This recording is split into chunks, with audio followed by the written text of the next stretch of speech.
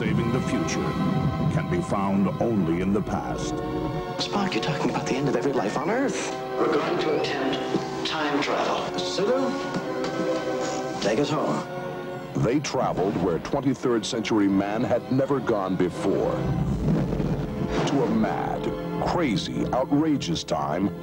Judging by the pollution content of the atmosphere, I believe we have arrived at the latter half of the 20th century.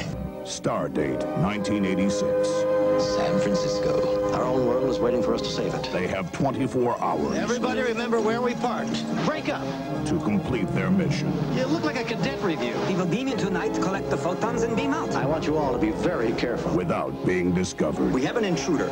All right, who are you? You're not exactly catching us at our best. That much is certain. This is an extremely primitive and paranoid culture. What does it mean, exact change?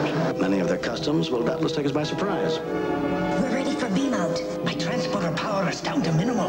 I've got to bring you in one at a time. You're from outer space. No, I'm from Iowa. I only work in outer space. Let's do our job and get out of here.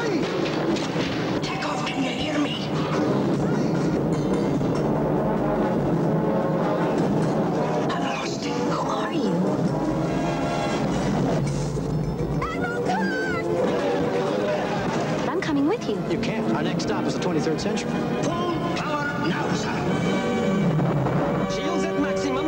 Steady. Hold on tight, lassie. Can we make breakaway speed? Oh, that's all I can give you. Nine. Now.